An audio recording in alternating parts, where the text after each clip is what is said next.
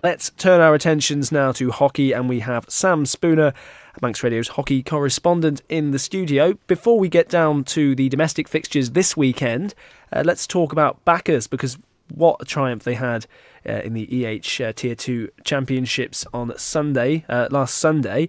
Uh, they knocked out Lindum on flicks eventually. Goals from Craig Lees and Andrew Whiting uh, well, they scored to, to make it a, a two-all game after 70 minutes. Then it went to flicks, and uh, Jamie Brown netting the winner. Euphoria for him. He was in England Hockey's Team of the Week. Um, and today we found out who Bacchus will play in the semi-final. Yeah, they'll be playing uh, East London men's first at Lee Valley, so the uh, pitch that was used during the 2012 Olympics, um, and it's a great achievement for Bacchus. the The game was uh, the first half was sort of you know, it was neutral. It was it, both teams deserved to have a goal in that half. The second half, Bacchus, is I say every week, their determination to win or get something out of a game, even when the pressure's on, was uh, magnified in that second half. They taught every person that was watching there how to defend properly. I think it's the off off the ball movement of the Bacchus players, which is also, I mean, second to none in Manx hockey. Um, they're going to come up against some very, very tough opponents, you'd imagine, uh, at Lee Valley. How far can Bacchus go? It's not just a success story for Bacchus, by the way. This is a success story for Manx hockey as a whole. Yeah, I mean, it, yeah, you've got the rivalries throughout the season. So Vikings Bacchus, Valkyries Bacchus. Those rivalries have kind of been pushed to one side. For this is fantastic for Manx hockey to have a team representing them in the semi-final of an EHC competition is fantastic and massive well done to all the Bacchus, lads. Um, and I really, really think they could go all the way. We don't know too much about East London men's first at the moment. We haven't had too much chance to look into them and see what their form guide is. But they they've just shown that they can beat one of the best sides in the competition. So yeah, they could go through to the final. And they've got that confidence going. So who knows how long this run could go on? But all the best to Bacchus um, in the semi final of the EH Tier 2 Championships. When it comes to domestic fixtures in the PWC Men's Premier Division this weekend, there's a tasty one. Uh, Vikings A against Valkyries A, always quite close. Which way do you see this one going? We talk about rivalries. This is uh, Valkyries A, Bacchus A is probably one of the biggest, but you know this one's probably up there as well. Vikings A this weekend have got a full strength side. Um, they've pulled uh, Nathan Evans up um, and Valkyries are struggling this weekend. Um, they've got a number of players away. Their B team are involved in the relegation battle as well, so they're struggling to find the resources to pull up as well. Um, the players missing, you've got Dave Hall, Ollie Webster, Chris Caldwell, both Stevenson brothers, and Russell Miller. And Greg Miller only gets off his flight on Saturday morning, so barring any problems with the with the flights, and Greg Miller should be there, so you can see that they've got a core of their team missing. So Valkyries are going to struggle tomorrow, but they're always a very physical side. Luis, no- Luis Novo Smith in the middle there will always calm things down, and Vikings will be given a run for their money. And how many times have we talked about Luis Novo Smith and how he runs the game really from the middle of the park? But there's a threat coming from the other end in Vikings A. Tom Wilson just knows where the back of the net is, and he's so clinical as well. Yeah, I mean Andy Whiting started the season um, and sort of challenging him for that top goal scorer position, and Tom the past couple of weeks, you know, mainly down really down to postponements. I mean, Vikings men's they've got three games in hand on Bacchus.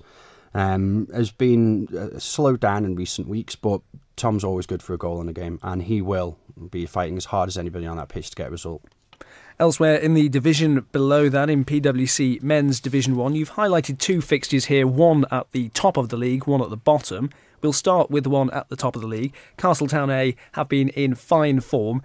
I mean, they're a Premiership team in waiting, aren't they? And they go against the Saracens A side in second place, who themselves have shown great promise so far this season. And it's only a matter of time if they can keep this group of players together before they themselves are promoted to the top flight.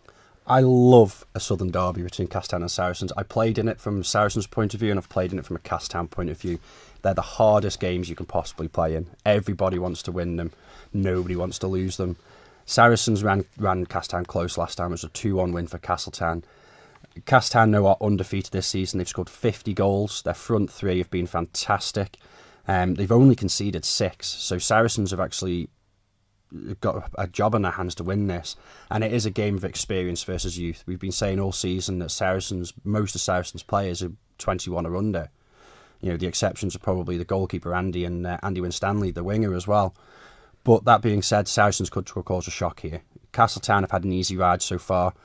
Saracens have shown themselves to have some great character, if a little bit of inexperience. Um, you know, mentally, I think they've suffered at times this season, especially in the second half of games. But yeah, this one's going to be a, this one's going to be a great game, and I'm I'd love to be there to watch it. Do you think that's where the game will be won and lost? It will probably come down to just that little bit more experience that Castletown have, which in the big games it does count for quite a lot. Yeah, absolutely. I mean, you look at sort of Castletown men's A side, and they're all mid twenties to early thirties. So they've got a, they're all veterans really um, of Manx hockey. Most of them have been playing for ten years plus on and off.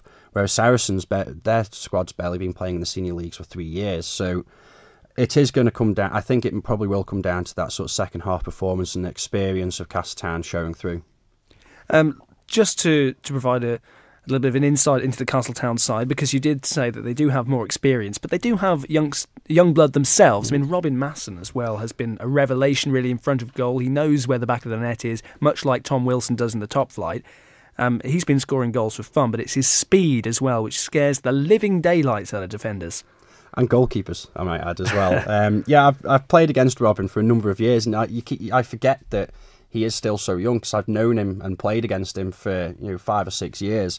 He's actually, you'd probably call him an experienced player now because he has been playing with the likes of Ollie Stereopoulos, uh, sorry, uh, Ollie Stereopoulos, and Don Stewart, and the, he's been playing with them for, for, for years and sort of grown up through the teams with them as well. So he is going to be a key factor tomorrow. If he can keep his head, then Castletown should win the game. And I suppose if you get involved in the Manx hockey system from an early age, you've already been playing for years and years and years, and you, you've got quite a bit of match experience already, which stands you in good stead. George Powell, worth a mention for Saracens A, uh, the captain of Saracens, is, I yes. think. Um, and he's got a very wise head for um, such a young man. Yeah, and he's leading that team, um, and he's leading it very, very well. He's been probably their standout player of the season. Um, he's been he's leading a team of players that are incredibly young, but so he's had to show how old he can be and show his maturity on the pitch, which for somebody so young is can be quite difficult. But he's shown that in abundance this year and played really, really well. Um, reverse of fortunes then. Bacchus Colts against Valkyries B at the other end of the table. Uh, this one, in all the other fixtures they've played, um, they've conceded a fair few goals. That's why they're down there at the wrong end of the table. They can't seem to keep it out of um, their goal at one end. They can't seem to find it at the other end. Who is, who are the favourites for this one? I think you have to give the favourites tag to uh, Valkyries B, in all honesty. I think Cronkbourne Bacchus, uh, Colts, have struggled this season. That being said, though, I umpired their game against Vikings Men C the other week, and their first half performance was fantastic. Um, they did have Andy Neal available for that game, um, and he provided that sort of drive for the juniors in that side to to pick up and really drive forward. And Vikings C were put under the cosh by them at times, and it was a really end to end first half.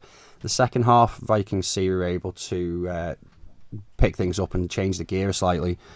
But I think Valkyries men's B are the favourites here. That being said, don't ever back cut Bacchus into a corner because they will come out fighting. It's funny how we talk about experience as being a positive thing for Castletown A. I think if you used experience as a word to describe Bacchus Colts, they might be a little offended by it. But they do have some players who have been around the block a bit. Yeah, you know, they've got Peter Vernon Brown in there, who is still an excellent midfielder. Um, they've had Dave Lewin playing at the back as well. Gareth Nichols in nets has been uh, playing a few games for them this season as well.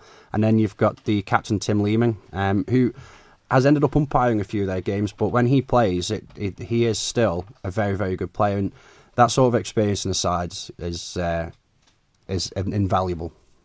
I can tell you, uh, Dave Lewin, who you mentioned there, is currently uh, in New Zealand.